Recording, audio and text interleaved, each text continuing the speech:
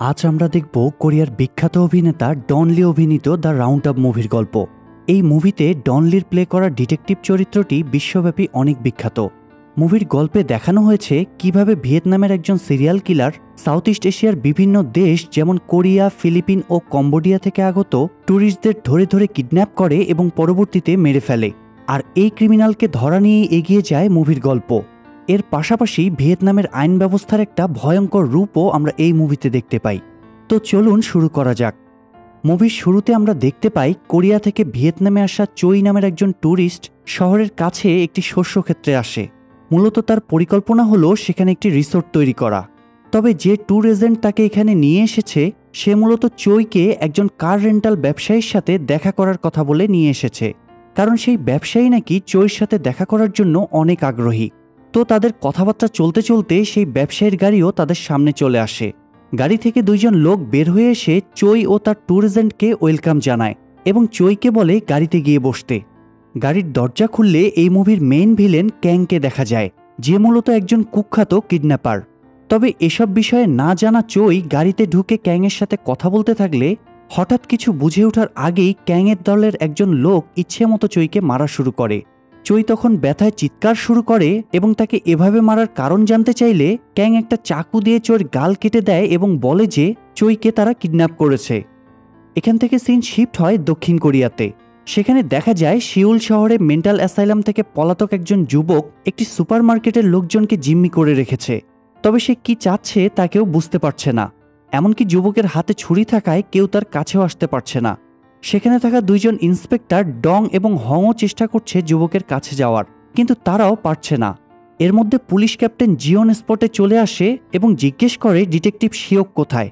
উত্তরে ডং জানায় সে ফোন ধরছে না। তবে এরই মধ্যে এই মুভির প্রধান চরিত্র ডিটেকটিভ শিওক সেখানে চলে আসে এবং সে সামনে থেকে ঢোকার চেষ্টা না করে বরং মার্কেটের পিছনের গেট দিয়ে চুপি চুপি ঢোকার চেষ্টা করে। কিন্তু তার বিশাল শরীরের জন্য পিছন দিয়ে ঢুকতে যেয়ে মার্কেটের ভেতরে থাকা একটা সেলফের সাথে তার ধাক্কা লাগলে সেলফটি পড়ে যায় আর ছুরি হাতে যুবকটি তাকে দেখে ফেলে। শিওক তখন তাকে শান্ত হতে বলে ধীরে ধীরে তার দিকে এগুতে থাকে, কিন্তু যুবকটি তাকে ছুরি হাতে শাসাতে থাকে।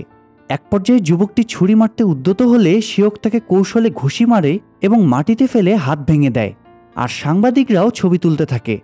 পরবর্তী দৃশ্যে দেখা যায় পুলিশ স্টেশনে ডিটেকটিভ শিওকের সবাই খুব প্রশংসা করছে, কারণ পত্রিকাতেও তার ছবি বেরিয়েছে। এর মধ্যে ক্যাপ্টেন জিওন রুমে প্রবেশ করলে তাকে দেখে সবাই চুপ হয়ে যায়। জিওন জানায় পুলিশ চিফ চাচ্ছে একটা জরুরি কাজে শিওককে ভিয়েতনামে যেতে হবে। শিওক ভিয়েতনামে যাওয়ার কারণ জানতে চাইলে জিওন বলে, কোরিয়ার গার্বিং জেলায় জুয়েলারি ডাকাতি মামলার তিন আসামির মধ্যে একজন ভিয়েতনামে আত্মসমর্পণ করেছে, তাই সেখানে গিয়ে তাকে নিয়ে আসতে হবে। তো শিওক তার সাথে এমন একজনকে নিতে চায় যে ইংলিশ ভালো পারে। এখানে ক্যাপ্টেন জিয়ন জায়েদ খানের মতো ভুলভাল কিছু ইংলিশ বলে এবং জানায়, এই তিন দিনের সফরে শিওকের সাথে সে নিজেই যাবে। তো যেই কথা সেই কাজ। প্লেনে করে তারা চলে যায় ভিয়েতনামের হোমিচিন শহরে। তবে ইংলিশ বলতে না পারায় এখানে তারা বেশ সমস্যায় পড়ে। পরবর্তীতে সেখানে নিযুক্ত কোরিয়ার রাষ্ট্রদূত মিস্টার পার্ক আসেন তাদেরকে রিসিভ করতে। বিমানবন্দর থেকে বেরিয়ে তার একটি রেস্টুরেন্টে যায় রাতের খাবার খেতে। সেখানে শিওকের সাথে তার পূর্ব পরিচিত একজন ব্যক্তির দেখা হয়। লোকটি জিজ্ঞেস করলে শিওক তাকে মিথ্যা করে বলে তারা ঘুরতে এসেছে। তখন লোকটি জানায় এখানে ঘোরাফেরা করার ক্ষেত্রে সাবধান, কারণ এখানকার ক্রিমিনালদের উপর পুলিশের কোনো কন্ট্রোল নেই।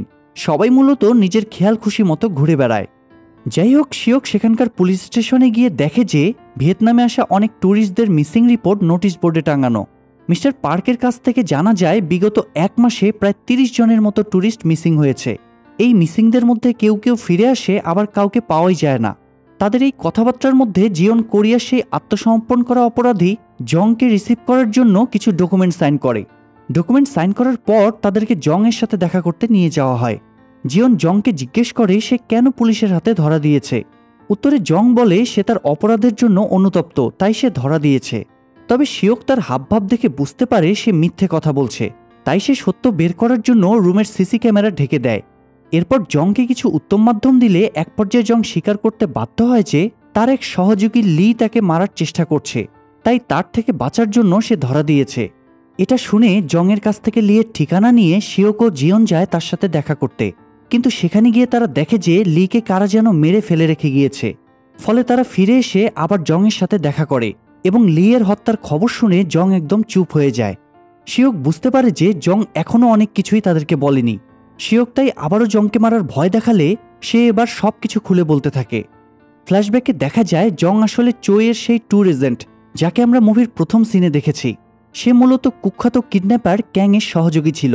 সে জানায় তারা ক্যাংয়ের সাথে মিলে চই নামের কোরিয়ান এক ট্যুরিস্টকে কিডন্যাপ করে।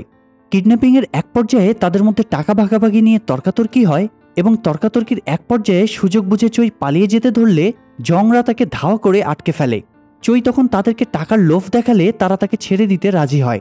কিন্তু তখনই ক্যাং সেখানে এসে চইকে মেরে ফেললে, তার দলের একজন এটা নিয়ে রাগারাগি করায় ক্যাং তাকেও মেরে ফেলে। শুধু তাই না, এরপর ক্যাং চইয়ের একটা হাত কেটে সেটা ছবি তুলে চইয়ের বাবাকে পাঠায় এবং পাঁচ মিলিয়ন ডলার মুক্তিপণ চায়।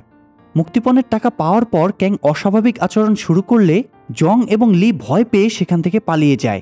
কিন্তু ক্যাংয়ের লোকজন যেহেতু তাদেরকে ফলো করছিল, তাই উপায় না দেখে জং পুলিশের কাছে ধরা দেয়।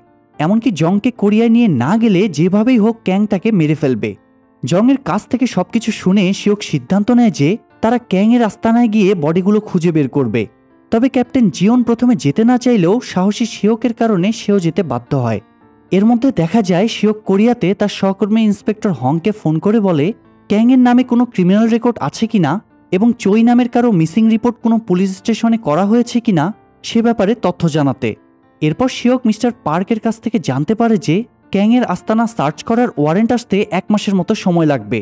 আইন ব্যবস্থার এরকম দুরবস্থা দেখে শিওক কোনো ওয়ারেন্টের তোয়াক্কা না করেই ক্যাংয়ের আস্তানার উদ্দেশ্যে রওনা দেয়। কিন্তু ক্যাংয়ের আস্তানায় এসে সঙ্গত কারণেই সেখানে ক্যাংকে পাওয়া যায় না।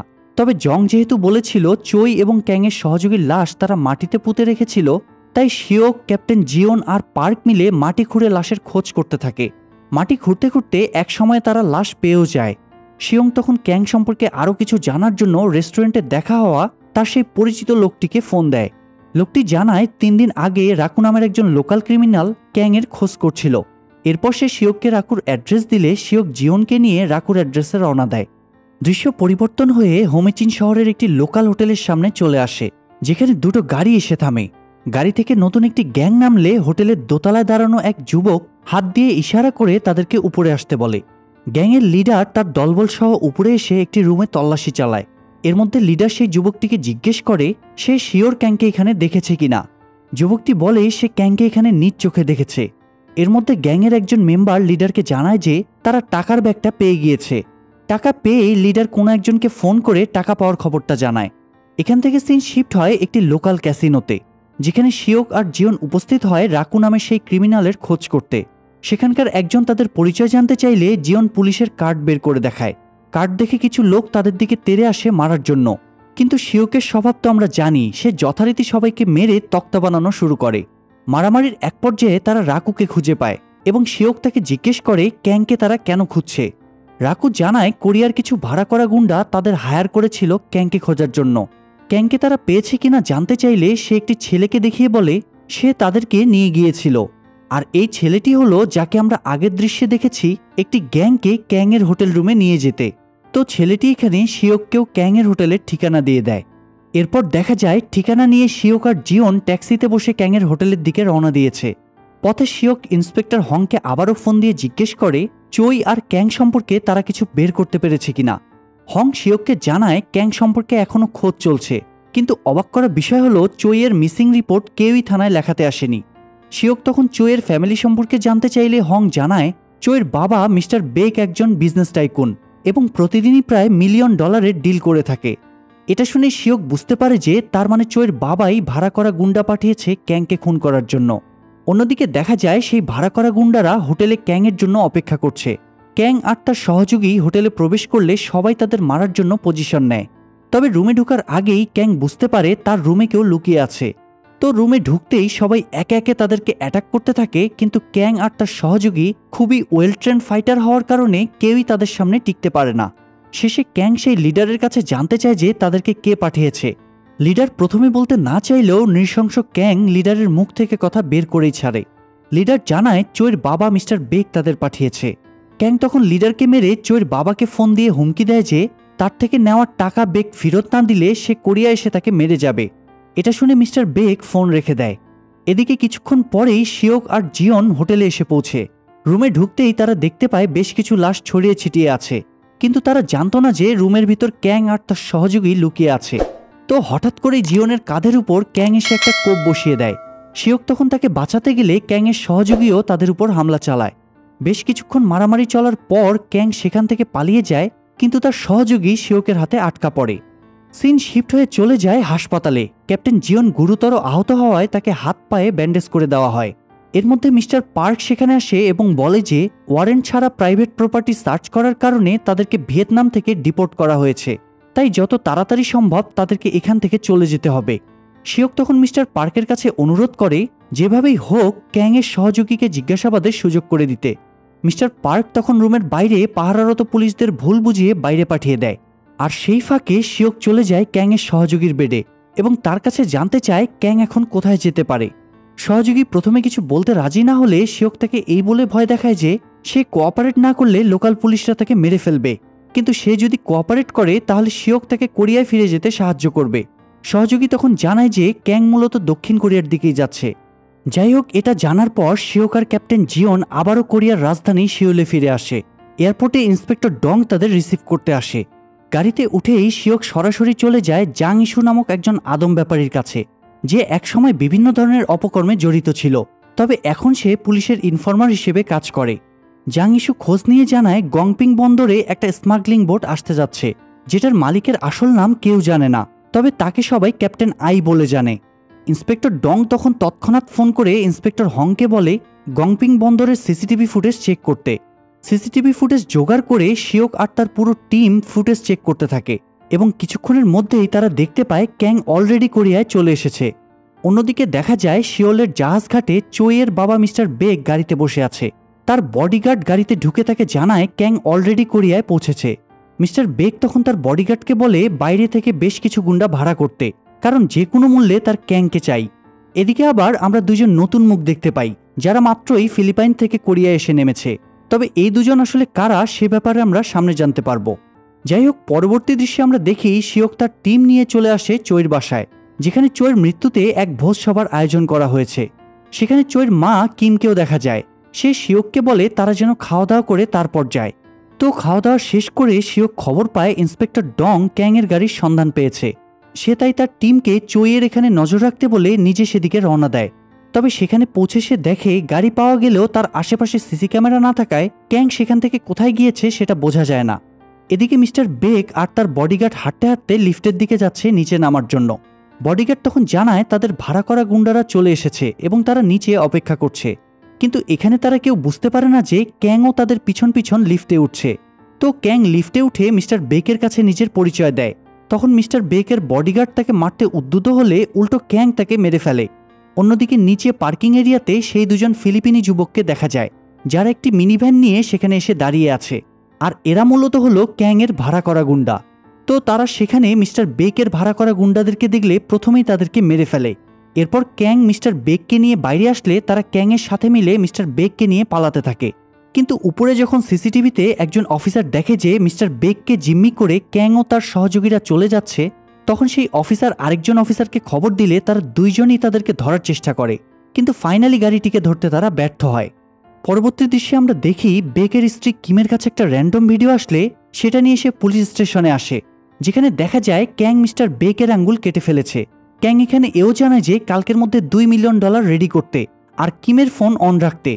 কিছুক্ষণ পর ক্যাং কিমকে ফোন করলে শিওক ও অন্যান্যরা ফোন ট্যাপ করে তাদের সমস্ত কথা শুনতে থাকে। কিম বলে সে দুই মিলিয়ন দিতে রাজি, কিন্তু সে তার স্বামীকে জীবন্ত দেখার পরেই টাকা হ্যান্ড ওভার করবে। শিওক তখন প্যাডে লিখে কিমকে বলতে বলে যে তার সাথে একজন ড্রাইভার থাকবে। ড্রাইভারের কথা শুনে ক্যাং প্রথমে দ্বিধা করলেও পরে রাজি হয়। তো প্ল্যান সাজাতে শিওক এবার জাং ইস্যুর অফিসে আসে এবং বলে যে একটা অপারেশন আছে, তাকে সেখানে ড্রাইভার সেজে যেতে হবে। জাং ইস্যু যেতে না চাইলে শিওক তাকে জোর করে নিয়ে যায়। পরবর্তী দৃশ্যে আমরা দেখি জাং ইস্যু আর কিম টাকা ভর্তি সুটকেস নিয়ে গাড়িতে উঠে। পিছনে ফিলিপিনের সেই দুজন গুন্ডা তাদের উপর নজর রাখে। কিম আর জাং ইস্যু গাড়িতে উঠতেই তারা ফোনে ক্যাংকে জানিয়ে দেয় যে কিম রওনা দিয়েছে। ওদিকে শিওক আর অন্যান্যরা নানা রকম প্রাইভেট কার মিনিভ্যানে করে কিমের গাড়িকে ফলো করতে থাকে। শিওক নির্দেশ দেয়, পুলিশ ছাড়া অন্য কেউ কিমের গাড়িকে ফলো করছে কিনা সেটা দেখতে। অন্যদিকে ক্যাং যেখানে কিমকে আসতে বলেছিল, সেই জায়গায় ইন্সপেক্টর ডং পৌঁছে যায়। তখন শিওক তাকে বলে, যত দ্রুত সম্ভব মিস্টার বেগকে খুঁজে বের করতে। অন্যদিকে আরেকজন অফিসার কিমকে ফলো করা সেই দুজন গুন্ডাকে খুঁজে পেলে সে সাথে সাথে গাড়ির নাম্বার শিওককে জানিয়ে দেয়। তবে সেই গুন্ডা দুজনও বুঝতে পারে যে একটা মেল ট্রাক তাদেরকে ফলো করছে। তাই সেটা তারা ক্যাংকে জানালে ক্যাং সাথে সাথে কিমকে ফোন করে ইউটার্ন নিতে বলে। কিম তার কথা মতো ইউটার্ন নিলে সমস্ত পুলিশ ফোর্স চমকে ওঠে, কারণ তারা বুঝতে পারে যে নিশ্চয়ই কোনো গণ্ডগোল হয়েছে। তাই ক্যাপ্টেন জিওক আর শিওন তখন রওনা দেয় সেই দুজন গুন্ডাদের পিছনে। এদিকে ক্যাং কিমের গাড়িকে বেশ কয়েকবার ইউটার্ন নিতে বললে কিম আর জাংশু বিরক্ত হয়ে যায়, কিন্তু এরপরও তারা ক্যাংয়ের কথা মতো গাড়ি ইউটার্ন নিয়ে যেতে থাকে। অন্যদিকে ইন্সপেক্টর ডং ক্যাংয়ের আস্তানায় পৌঁছে যায়। দূর থেকে ক্যাং তাকে দেখে ফেললে সে সাথে সাথে সেখান থেকে সরে পড়ে। খুঁজতে খুঁজতে ডং মিস্টার বেগকে যে গাড়িতে কিডন্যাপ করা হয়েছিল সেটা খুঁজে পায়। সেখান থেকে সূত্র ধরে খুঁজতে খুঁজতে সে মিস্টার বেগকেও পেয়ে যায়। বেগকে নিয়ে ডং বাইরে আসতে ধরলে ক্যাং ডং এর উপর আক্রমণ করে। ক্যাং এখানে ডংকে প্রায় মেরেই ফেলেছিল, কিন্তু এরই মধ্যে পুলিশ চলে আসলে ক্যাং সেখান থেকে পালাতে বাধ্য হয়। ওদিকে ক্যাং গাড়িতে বসে সেই দুজন গুন্ডাকে ফোন দিয়ে বলে, মিস্টার বেগকে যেহেতু পুলিশ পেয়ে গিয়েছে, তাই টাকা পাওয়ার আর কোনো সম্ভাবনা নেই। কিন্তু তারা ক্যাংয়ের কথা বিশ্বাস করে না। তারা কিম আর জাংইশুকে ফলো করতেই থাকে। জাংইশু তাদের থেকে পালাতে পালাতে একটা পার্কিং লটে এসে পৌঁছায়। সেখানে কিম গাড়ি থেকে নেমে পালিয়ে যায় আর জাংইশু হঠাৎ করে কিছু একটা মনে করে টাকার ব্যাগ সহ গাড়ি নিয়ে একা বের হতে যায়। তখন সেই দুজন গুন্ডা তাকে থামানোর চেষ্টা করলেও তারা তাকে আটকাতে পারে না। এমনকি তার গাড়ির পিছনে তাদের মধ্যে একজন গুন্ডা যাওয়ার চেষ্টা করলে পুলিশ তাকে ধরে ফেলে এবং অ্যারেস্ট করতে সক্ষম হয়। আর অন্যদিকে আরেকজন গুন্ডা কিমের পিছু নিতে নিতে একটা শপিং মলে চলে আসে। কিন্তু পিছু নিয়ে তারও কোনো লাভ হয় না, কারণ শিওক তখনই এসে পৌঁছায় এবং তাকে মেরে প্রায় আধমরা করে ফেলে। এদিকে এত সব ঘটনা ঘটার পাশাপাশি যদি আপনার মনে হয় কাহিনী এখানে শেষ হয়ে গিয়েছে, তাহলে আপনি ভুল ভাবছেন। আসলে জাংইশু মূলত সেই টাকা নিয়ে শিউল ছেড়ে পালিয়ে যাওয়ার প্ল্যান করছে। কিন্তু তার প্ল্যানে বাধা হয়ে দাঁড়ায় ক্যাং। সে এবার জাংইশুর পিছু নিতে থাকে। এক পর্যায়ে ক্যাং তাকে প্রায় ধরেই ফেলে, কিন্তু এরপরও জাংইশু সেখান থেকে পালিয়ে যায়। এরপর ক্যাং তার হোটেলে ফিরে খবরের মাধ্যমে জানতে পারে জাংইশুর জন্য পুলিশ ওয়ারেন্ট ইস্যু করেছে। ধারণা করা হচ্ছে সে আজ রাতের মধ্যেই জাহাজে করে চীনে চলে যাবে। ক্যাং তখন বুঝতে পারে জাংইশুকে আসলে কোথায় পাওয়া যাবে। পরবর্তী দৃশ্যে আমরা দেখি জাংইশু তার ব্যাগ নিয়ে জাহাজ ঘাটে চলে এসেছে নিজের শিপে ওঠার জন্য। কিন্তু তখনই সেখানে ক্যাং চলে আসে এবং ভীতু জাংইশুর কাছ থেকে টাকার ব্যাগ নিয়ে নেয়। তো টাকা নিয়ে ক্যাং সেখান থেকে বেরিয়ে একটা বাসে উঠলে জাংইশু তাকে ফলো করে। ক্যাংকে বাসে উঠতে দেখেই সে শিওককে ফোন করে ক্যাং কোন বাসে উঠেছে সেটা বলে দেয়। আর ঠিক তখনই দেখা যায় বাসটি কিছু দূর যেতেই এক জায়গায় থেমে যায়। মূলত শিওকই বাসটি থামিয়েছে। তো শিওক বাসে উঠে বাকিদেরকে নামতে বলে বাসের দরজা বন্ধ করে দেয়। এরপর শিওক আর ক্যাংয়ের মধ্যে একটা দারুণ ফাইট হয়, যেখানে শিওক শেষ পর্যন্ত ভয়ঙ্কর কিডন্যাপার এবং খুনি ক্যাংকে অ্যারেস্ট করতে সক্ষম হয়। সেই সাথে মিস্টার বেককেও পুলিশ জীবিত উদ্ধার করে। অন্যদিকে সন্ত্রাস দমনে ভূমিকা রাখায় ভিয়েতনামের পক্ষ থেকে কোরিয়ান সেই রাষ্ট্রদূতকেও সম্মাননা দেওয়া হয় এবং এই উপলক্ষে ক্যাপ্টেন জিওন, ডিটেকটিভ শিওক ও তাদের পুরো টিমকে একসাথে ড্রিঙ্ক করতে দেখা যায়। আর এই দৃশ্যের মধ্য দিয়েই দুর্দান্ত অ্যাকশন আর সাসপেন্সে ভরপুর মুভিটি এখানেই শেষ হয়। মুভিটি ভালো লাগলে লাইক দিন এবং কমেন্ট করুন। আর সেই সাথে আজকে যারা আমাদের চ্যানেলের প্রথম কোনো ভিডিও দেখছেন, তারা চ্যানেলটি সাবস্ক্রাইব করে বেল বাটনটি অল প্রেস করে রাখুন।